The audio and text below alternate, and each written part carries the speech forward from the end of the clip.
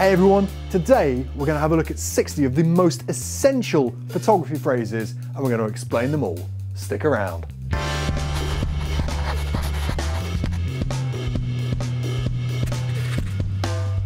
Number one, phot photo photography? Are you, are you kidding me? Photography is the art of taking photos. Simple as that. I hope these get harder.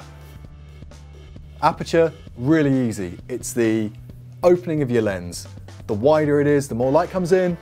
The smaller it is, the less light comes in. Shutter speed is so simple. It's how fast your shutter comes down. It comes down really slowly, like a second or 30 seconds. It lets in loads more light, but blurs everything. If it snaps down at about one four thousandth of a second, it's really quick, but it's also not letting a lot of light in. ISO, ISO, ASA, ASA, any of that kind of stuff, same thing. Traditionally, it refers to the sensitivity of your film or the film speed, now it basically refers to the digital gain on your sensor. So the higher the number, the lower the image quality, the more grain, but the more light it picks up. Noise. Ah! I gotcha. Okay, so noise is basically grain, digital grain, that kind of stuff. It's the graininess you see in an image and it's most prevalent when you are pushing the ISO or ASA higher. So if you're at ISO 3200, you're probably going to see a lot more noise coming compared to ISO 100. Exposure triangle is not the latest sweet in quality streets, which depresses me. It's basically the relation of everything. So you have three things your camera exposes or uses for exposure. You have shutter speed, you have aperture, you have ISO, and you balance all three to get a perfect exposure. DSLR, digital single lens reflex. It's one of them old crazy film cameras, but with a digital sensor. It's got the mirror and it goes and uh, it's currently in a war with our next entry for the dominance. CSC, mirrorless, exactly the same thing. CSC means compact system camera, and it's basically a DSLR, but it takes out the mirror, which gives it a massive advantage over several factors. You obviously, you can have on-sensor phase detection, uh, more focus points, the entire area. Normally it's a bit faster. There's loads of things like that. Personal preference. Exposure compensation. Now, it's normally it's a little dial or it's a button somewhere on your camera. You can only use it in auto modes, not in manual. And what it does is if you're setting, let's say you're using shutter speed or aperture priority, it will raise one of the other values to give you an exposure or lower it, depends on you. EV, EV is basically exposure. So if you're using exposure compensation or something like that, it'll be plus or minus one EV, and that's the stop of exposure bulb is not this thing up here that's making my head look really shiny. It's also a setting on your camera for the shutter speed. Bulb just means the shutter stays open for as long as you hold the trigger or remote control or something like that. So you want to do a long exposure of 2000 hours or something. As long as you can hold the button for that long, you can do it. Stop. Hammer time. No. A stop or an f-stop or anything like that is basically a measurement of how much light comes into your camera and it's normally for easiness sake, is doubled. So one uh, 125th is a stop, and then one more stop than that is 1 250th, one more stop is 1 500th, one more stop is 1 1000th. Same with ISO, 100, 200, 400, 800, 3200, 1600 is probably in the middle of those, but I don't do maths. Bracketing is really simple. It's basically the art of taking one shot and then taking a shot either side of it. So if you want exposure bracketing, you are taking a shot that's well exposed, a shot that's exposed higher, so you're exposing for the shadows, and then a shot that's underexposed, so you're exposing for the highlight. And then you go into Photoshop or something like that, mix them all together, get yourself a nice little HDR image. PDAF, phase detection autofocus. Normally it's on-sensor PDAF, it's something you'll um, get in mirrorless cameras especially, and it basically means the focus points and the autofocus pixels are built into the sensor. Raw. Sorry. RAW. Not the sound a lion makes, RAW is a type of file format, and you always have this argument JPEG versus RAW. RAW basically captures more data in a flatter image profile and it's much more flexible for editing. JPEG, kind of the same as RAW, but nothing like it at all. JPEG is straight out of camera. The camera applies a bit of editing to it. Normally it gives it more peppy colors and stuff, and you don't have to worry about going and editing it afterwards if you don't want.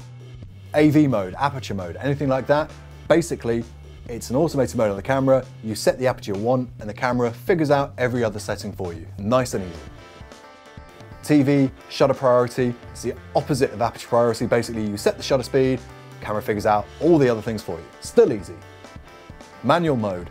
This is where it gets a little bit tougher. You are in control of your ISO, your shutter speed, and your aperture. It's all down to you. SOC, or SOOC, straight out of camera. It's a shot you've taken in the camera, you haven't edited, hashtag, no filter, pretty simple. Drive mode. Where's the drive mode? Drive mode is where you'll find things like normally self-timer and all that kind of stuff, but you'll also find your continuous shooting mode. So if you want to do 5, 10, 20 frames a second or whatever, that's where it's going to be. AFS, AFC, simple. Autofocus single, autofocus continuous. Single is it'll lock onto your subject, that's it.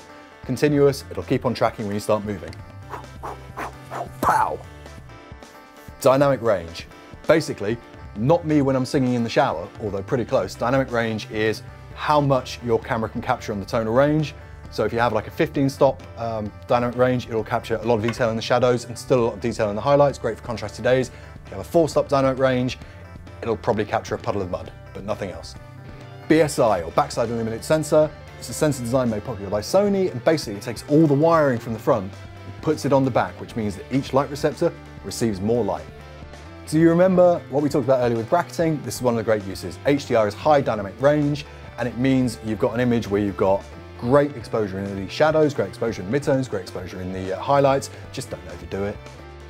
Creative effects, picture styles, great for JPEG shooters, don't apply to RAW. Basically, it just applies like uh, either a funky effect or a different color grade to your camera, to your JPEGs specifically. Um, great examples are Vivid, Landscape, Portrait. EVF, OVF, WAR. That's what that means. Optical viewfinder is what you're going to find on a DSLR, and you see through, and you basically just see straight through the lens. That's it. And EVF is what you find in mirrorless. It's like a live video feed, and it shows you, or can show you, everything your exposure is doing so you know exactly what you're going to get. Or WYSIWYG, what you see is what you get. Live view. So live view is exactly what we talked about with the EVF. Basically, as you change your settings, you'll see the representation on the back screen or the EVF reflect what they're at. So you always know what you're going to shoot.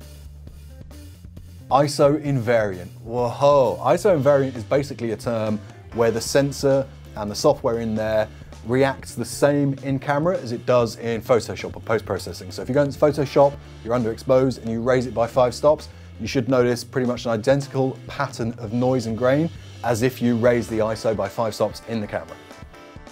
Depth of field. Depth of field is basically how much of your image is in focus. So if you're shooting at f1.4, that much is in focus. If you're shooting at f22, this much is in focus.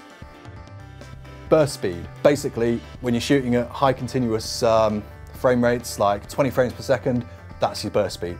However many frames per second your camera can handle is how much its burst speed is. Shutter drag. Everything's a drag, but shutters especially.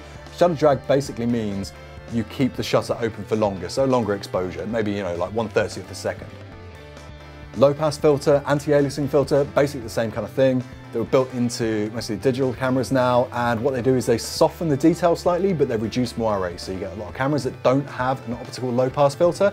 They have much sharper results, but they have a bit more risk of moire. Focal plane. Focal plane is basically where your sensor is. That is the focal plane. So once you start tilting that up and down with your lens, your focal plane changes. That's why when you, you're really shallow uh, depth of field or a wide aperture, take a picture, focus, recompose, you're gonna change your uh, focal plane, and then it's not gonna be in focus. Back button focusing, I don't believe in it, but anyway, you focus by pressing one of the buttons on the back, that's it, focus, click, click, done.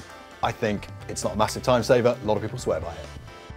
Crop factor is basically the size of your sensor and how much it affects your effective focal range. So if you're on a micro four thirds, it's got a crop factor of two times because it's two times smaller than full frame.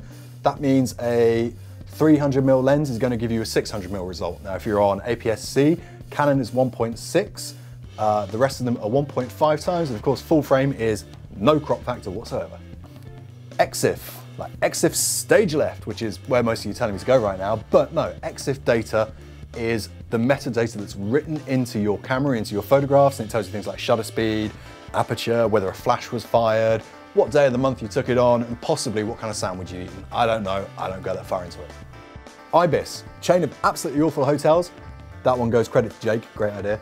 Um, or possibly irritable bowel, I don't know. But in this case, in-body image stabilization. And when you've got the image stabilization, it's built into the body, it's IBIS.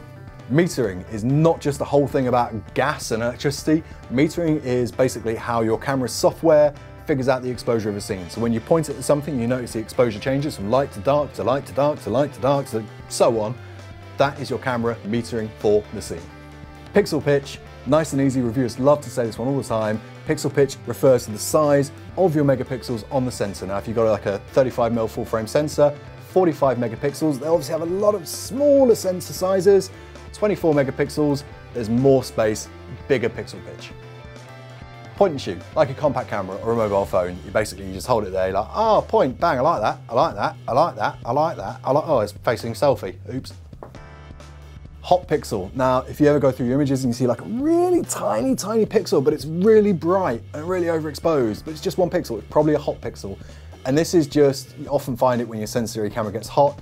It's basically one of the pixels' inability to, uh, to read the data. Normally it's temporary and it'll sort itself out. If it doesn't, it might be a dead pixel.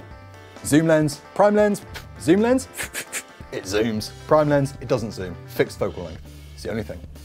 Optical zoom is basically zooming through the lens versus electronic zoom and electric zoom, which is basically just cropping into the sensor. And you lose a, a bit of image detail as well. Macro lens. Macro lens is a lens that gets really close up, but still like manages to focus this far away away. Normally you're looking for one to one production ratio, which basically means it captures life-size images. Yes, I'd like to order a photo, please, now. That's not it at all. Telephoto is a type of lens. Generally, it's anything over sort of 50 mil, so 70 mil, 85 mil, you get super telephotos at 600 mil. Wide angle. Hello? So, that joke doesn't work for this. Wide angle is anything that's much wider, normally down to about 24 millimeters. Ultra wide angle, huh, no, still doesn't work. Ultra wide angle is anything sort of fisheye, like eight millimeters, up to about 20 millimeters, and it just captures a lot more of the scene. Tilt shift. Now, tilt shift combats Scheimpflug principle, and that's just too much to get into.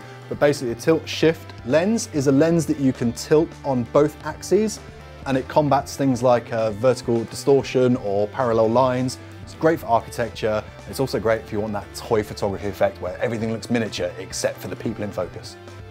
F-stop. So F-stop is basically the same as stop that we talked about earlier, but it is specific to lenses and it works slightly differently. You don't double. Basically, you know, F1.4, um, F2, F2.8, and it's F4, and then it's F5.6. So it goes up like that. But all you need to know is every time you go up by one full stop, one full stop of light either comes in or doesn't. Aperture ring. Hey, aperture ring. One for the hipsters. Aperture ring is the ring that's on some lenses. A lot of Fujifilm lenses have it. Some of the Sony do. And instead of using the buttons up here to change your aperture, you can just use the ring on the lens. Hey. Hyperfocal distance. One for the landscape lovers out there. Hyperfocal distance is basically calculating whereabouts on your lens at that particular aperture you can focus into the scene and have everything front to back sharp. Fast aperture, wide open, same thing. Fast aperture and wide open basically means shooting as wide as your lens will go with the aperture. So normally if you've got an f1.4 lens, that'd be f1.4. If it's an f2.8, it'd be 2.8. If it's a 6.3, it'd be 6.3. Shallow depth of field. Now we talked about earlier, depth of field is how much is in focus. Shallow depth of field is when you're shooting at a really wide aperture and there's tiny like millimeters of focus in there. Wide depth of field, exactly the same as last time, but reversed. Everything's in focus.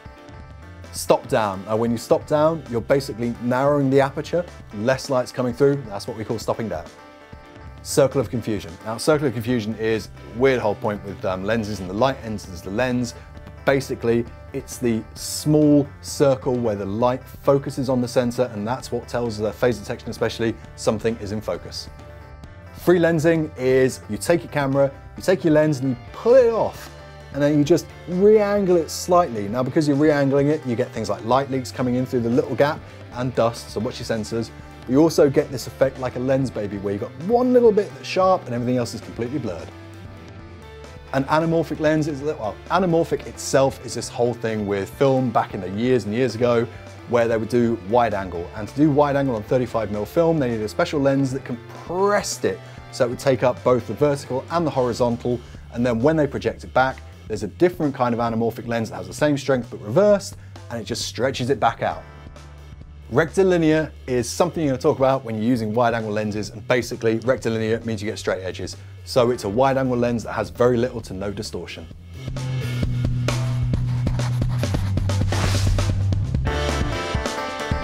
And that was 60 of the most essential everyday photography terms that you have to know Thanks for watching, and don't forget if you enjoyed this, click subscribe, click the bell for notifications, and give us a like whilst you're at it. Don't forget to check out all the other great videos we're putting out there for you.